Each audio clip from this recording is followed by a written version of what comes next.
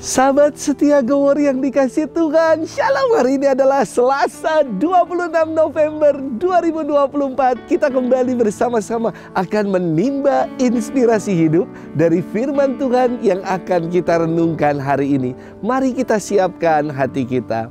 Haleluya, haleluya, haleluya Hendaklah engkau setia sampai mati sabda Tuhan Dan aku akan mengaruniakan kepadamu mahkota kehidupan. Haleluya, haleluya, haleluya. Tuhan bersamamu dan bersama rohmu. Inilah Injil suci menurut Lukas dimuliakanlah Tuhan. Lukas 21 ayat 5 sampai dengan 11 Ketika itu beberapa orang berbicara tentang bait Allah dan mengagumi bangunan yang dihiasi dengan batu indah dan berbagai macam bahan persembahan. Tetapi Yesus berkata kepada mereka, akan tiba harinya segala yang kalian lihat di situ diruntuhkan dan tidak akan ada satu batu pun dibiarkan terletak di atas batu yang lain. Lalu murid-murid bertanya, "Guru, Bila manakah hal itu akan terjadi? Dan apakah tandanya kalau itu akan terjadi? Jawab Yesus, waspadalah, jangan sampai kalian disesatkan. Sebab banyak orang akan datang dengan memakai namaku dan berkata, akulah dia.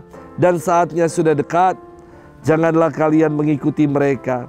Dan bila kalian mendengar kabar tentang perang dan pemberontakan, janganlah kalian terkejut sebab semuanya itu harus terjadi dahulu. Tetapi itu tidak berarti kesudahannya akan segera datang. Kemudian Yesus berkata kepada mereka, "Bangsa akan bangkit melawan bangsa, dan kerajaan melawan kerajaan. Akan terjadi gempa bumi yang dahsyat, dan di berbagai tempat akan ada penyakit sampar dan kelaparan." Dan akan terjadi juga hal-hal yang mengejutkan dan tanda-tanda yang dahsyat dari langit. Demikianlah sabda Tuhan, terpujilah Kristus. Sahabat setia gowor yang dikasih Tuhan, Shalom. Di bulan Rosario lalu, bulan Oktober, banyak sekali para peziarah lintas paroki, bahkan lintas kuskupan yang datang ke kapel Our Lady of Akita di Pik 2. misa di kapel lebih lama daripada misa yang ada di gereja. Padahal umatnya tidak banyak, tidak sebanyak yang ada di gereja. Durasi misanya juga sama satu jam. Hanya di kapel Akita ditambah dengan foto-foto bisa 30 menit. Karena aneka peziarah datang ke tempat ini dan mereka semua harus Romo-romo foto dulu Pak. Tambah lama misa plus fotonya.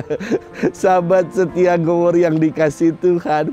Dalam firman hari ini, Yesus menegur para peziarah yang hanya mengagumi arsitektur bait Allah yang berhiasan batu-batu dan berbagai persembahan.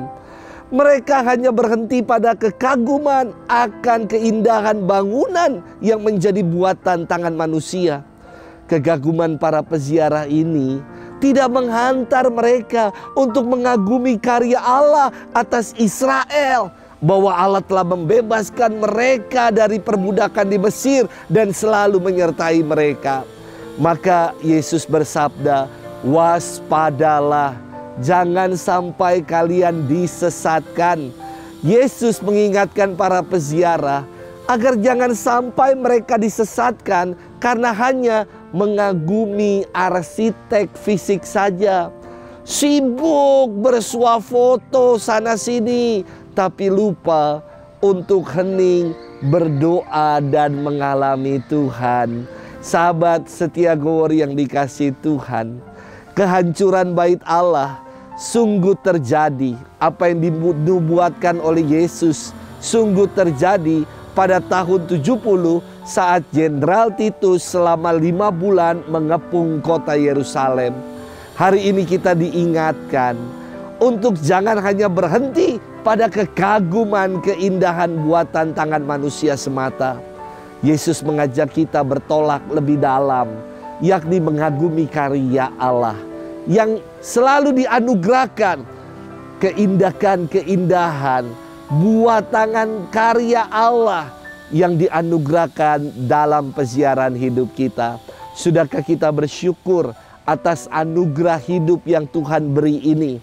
Dengan bersyukur, kita akan semakin kagum betapa banyak karya baik Tuhan yang telah kita alami dalam hidup ini.